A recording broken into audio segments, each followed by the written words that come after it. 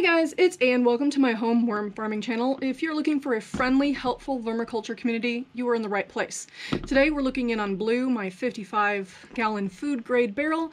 It's been running for several years continuously, and I'm hoping for a really good harvest so I can add that to the stock for my seed starting in a month or so, and also make room at the other end for the big stock pot of food that I have. This is my one quarter inch trusty dusty, literally, screen. I will put the link to that in the pinned comment below. And any part that is unfinished, I will just go ahead and put that in a bucket and rehydrate it so that it can go back into the feeding end at the end when we feed the rest of the food. First, I wanted to tell you that I'm going to have a look over at my overwintering peppers. I was given a new light by Barrina. It's a stand, so it's kind of like your regular house stand light. Very small footprint, no technologically advanced tools, just put it together with my hands. So I will put that up next while I am sifting. It's 42 watts and it has high PPFD. If you're a plant person or not a plant person, that is photosynthetic photon flux density. Or in layman terms, that just means how much of the light is getting to your plants. Now I've used this brand before, but the, the ceiling mounted type for my seed starting. This is actually gonna come in handy down here in the basement where I'm trying to overwinter my peppers. It's going to be as tall as me, so I'll put a snippet of not only me putting it together, no tools, just by hand, and then also next to my beloved hot pepper plants. That is going to help out getting my pepper harvest early, early, and then those hot pepper plants that always take forever, this is going to help get them going faster. I know it's a good brand because I've used it before, so they were nice enough to send this to me. I will put a link below. Also, for the people who watch my channel, there is a coupon code, and I will put that along with the pinned comment. Um, it's Plant Obsess. I don't think there's enough uh, left for the whole obsessed part, but that is the code to get you 8% off. Now that's a pretty good deal, considering it's not a very expensive light to begin with, but it is perfect to keep all of your plants, and maybe even the humans, a little happier in the winter. Okay, so I'm just gonna screen there. One quarter of an inch is six millimeters, in case anybody's wondering across the pond. And then, let's see, I'm just going to keep going for a second. Picking out any of the plastic or stuff that hasn't digested over time. This is one of the benefits of sifting, in my opinion. Okay, then I'm just going to put this in my pan of water. Let that get soaked up. And I have a tub right next to me here I keep all of the castings. I'll show that in a minute. A lot of people asked, how do you keep the castings good over the winter? And so I will show you what my setup is and what my procedure is and try and keep them hydrated all winter long. And then, as you can imagine, the, the cocoons are gonna fall through this one quarter inch, 100%. So we need to make sure that they not only have the moisture that they need to be viable, but also when they wake up and turn into little baby worms, you're going to want them to have food.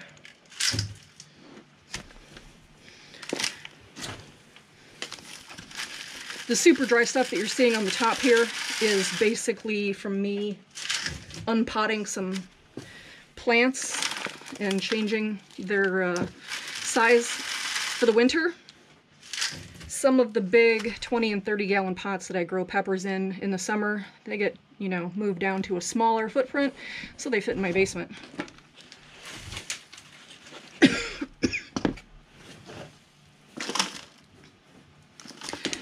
so this is not all 100% castings. Oop, sticker.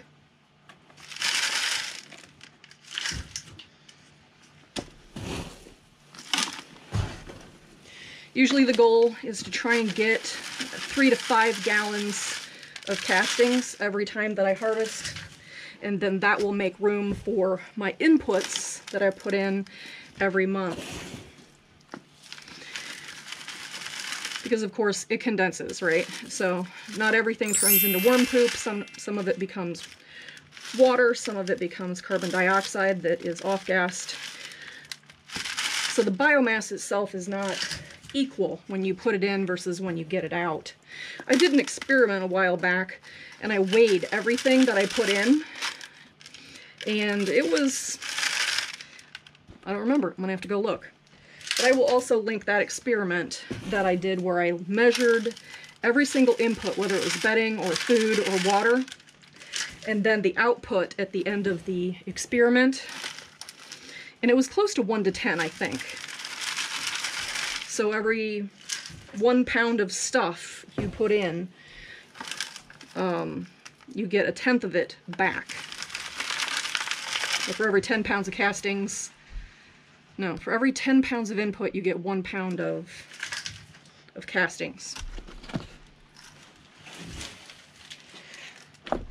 My worms usually get approximately in this huge bed that is established. Don't do this to a new bed, but in this very established, very large bin, I can generally put in five to eight gallons of input, and that's bedding as well as people food every single time, every month. So for those people that do their bins more often, you really can't do it that often.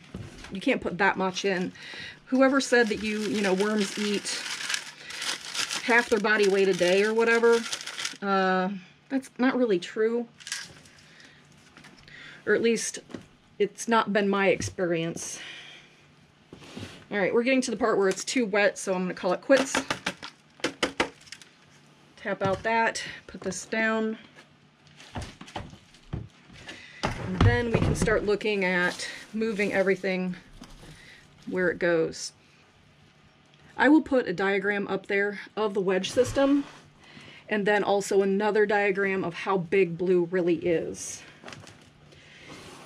It's about a foot deep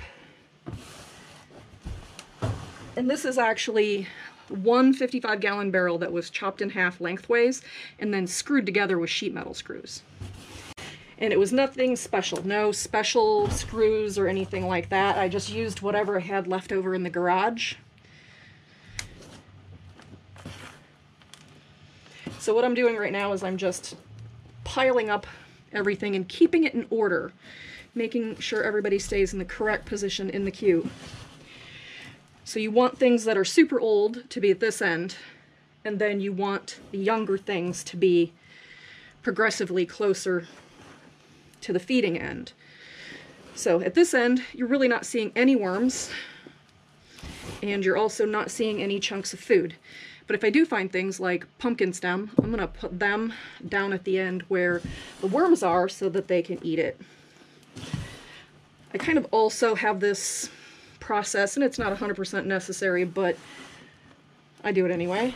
So in order to make sure that the worms eat everything on their plate, you know, that's why I sift and take out anything like this. I think this is probably an avocado pit. But they may take two to three cycles through the bin, and I don't worry about it because I know they'll get around to it. But I put that down at the bottom of any feeding, and then all the good juices of the brand new feeding soak into the old stuff. And then it makes it more of bioavailable for the bin critters and the worms. And as the temperature is slowly getting cooler down here, it's 68.9 right now.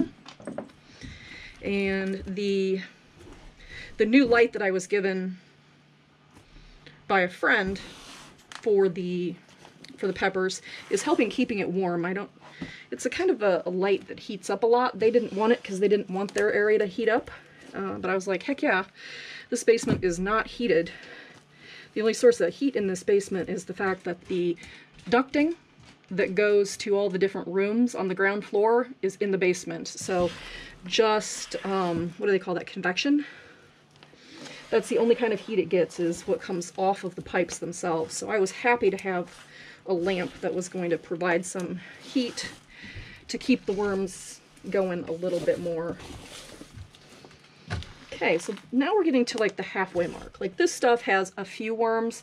This part is going to have way more worms and it's probably going to be wetter.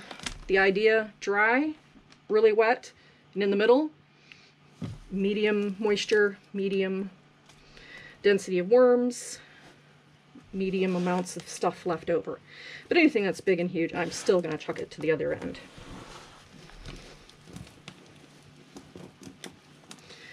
So I dragged my peppers in, I don't know, second week of October. And um, Rick from Gardening with Barchuggin sent me some seeds for his chocolate moruga plant, which I grew. It's a super hot, in case you're into super hots, then you know what it is. And unfortunately, it is just take it took so long that it just started blooming in like August. So it is continuing to thrive here in the basement. So Rick, if you're you're watching, uh, I do keep many of my plants that are super hots alive multiple, multiple years just because they take so long to get going that it's really almost impossible in my zone to start at seed and go and get ripe fruit from a very tropical pepper. That being said, I also have a, a sweet pepper, a hatch pepper plant, what we call grandpa pepper, who just hit his 10th season outside. Um, yeah, his, his stem is about the size of my wrist. Still produces a good amount. He's a little bigger than he should be for a bonsai. I think what is uh, ChilliChump call them bonchis. Okay, so now we've moved all this, we've made the space, we're making progress. Now let's move down to the bottom of the bin. All right, here we are at the business end. I'd say this portion here was done a little over two months ago. Now we're going to see a lot of worms and a lot of things that look, you can recognize the bedding. You can see the cardboard, you can see the paper.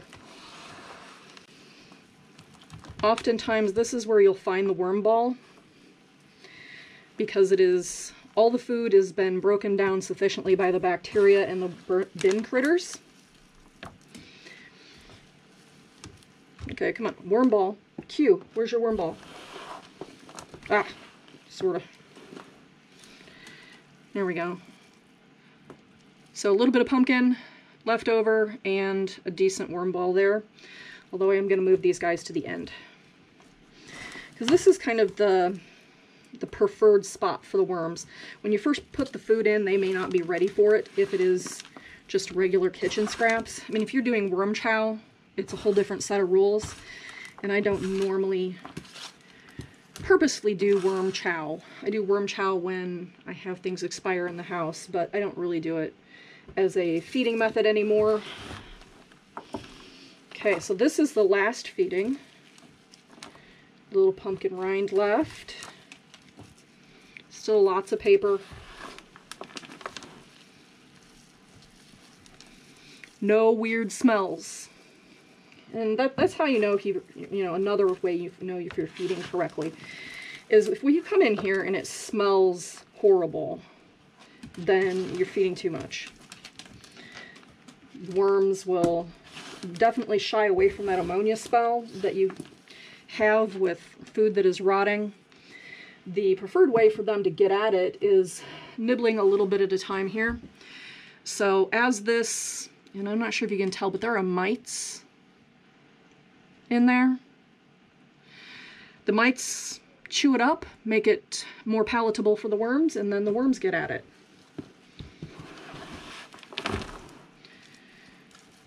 Oh, there's another piece of pumpkin. But there are lots of mites, and they show up when there's a job to do and they kind of die off when that job is done. But if you keep the food a little steady, then the right amount stays all the time. And I have, I have absolutely, I admit 100% that I have overfed and had a stinky bin before. But it's all live and learn for where you live and your situation. Not everybody, not everybody's bin is going to be 100% the same. You know, we've got other worm channel like Patrick and Autumn. They're in Florida from Compost Learn by Doing. Um, let's see, you've got AJ's Green Topics. He's in Iowa. Let's see, who else is there? If I'm forgetting anybody, in fact I am. I'm not that caffeinated, quite honestly. It's in the morning. But, you know, put a shout out for if, you know, where are you and you are worm farming? I know we have um, people in the deep south. We have people in Australia. Even ChilliChump has his own worm channel now, and he is in England. Which I think would be the perfect environment for red wigglers. So if you are a chili head and a worm person, you should definitely check out ChilliChump. He's trying to do his outside in a, uh, a shed with heating coils, which I don't know. I'm, I'm going to see how it works out for him. And if it works out for him, I think I might actually do something similar and get those African night crawlers. Solid worm ball. Woo! And get those African night crawlers in the basement. It would be nice to have my dining room not also be part of a wormery. So if that heating thing keeps his population steady and healthy over the winter, I'm going to look into it. African night crawlers, at least for me where I live, are the most high maintenance drama queen worms I have ever had. They're good worms. They work. They work as hard as any other worm, if not harder, especially on things like bedding.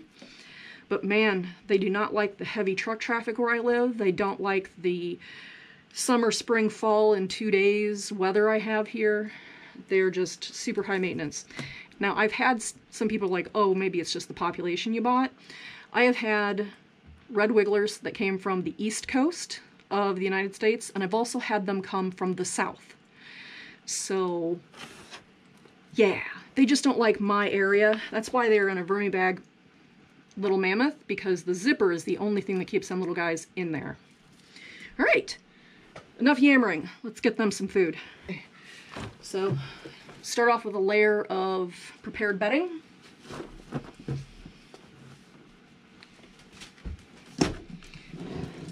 The aforementioned stock pot of food. Yep, chicken soup went to the back of the uh, refrigerator and got forgotten about. Here is the leftovers from sorting. I was going to put those down below, but I forgot, so here we are. And then a cap of bedding. All right, so they are all nice and tucked in. All right, for those of you who are still here, let's go look at those castings and see how I manage them over the winter. Okay, so here we are. These are the ones that I just put in there. They're a little bit drier. If we dig down, things should be a little wetter. Not significantly, so I need to add some more water in here and then also something to keep the microbes and the little wormies happy. I have some of the water left over from the prepared bedding and I am just going to keep mixing that in until it gets to the right moisture and the right moisture is going to be wetter than that. It's the whole wrung out sponge thing. So those new ones were pretty dry. It's 100% uh, furnace season here, so it, I'm going to have to keep a closer eye on this. Even though I had a lid on it, it did still dry out. But I work it in so that I don't end up with too wet or end up with water pooling at the bottom. Because if you just pour water in here, the likelihood is that you're going to end up with pooling water at the bottom that is going to become anaerobic. So it is best to take the time and add and scruff in and make sure that you're not overdoing it because too much water um, it can be just as bad as not enough water. At least if there's not enough water, they can go dormant. But if there's too much water, then the ammonia will kill off everything, especially in a closed bin, which this is. All right, that looks pretty good. Scoot this over, and we'll do the same thing on the other side. All right, well, if you like this video, I have a playlist that is all the 55 gallon drum right over here, playlist that you can see. And if you've already seen that, YouTube thinks you're gonna like this video right over here. All right, guys, thanks for hanging out with me and my worms, and everybody, have a good day.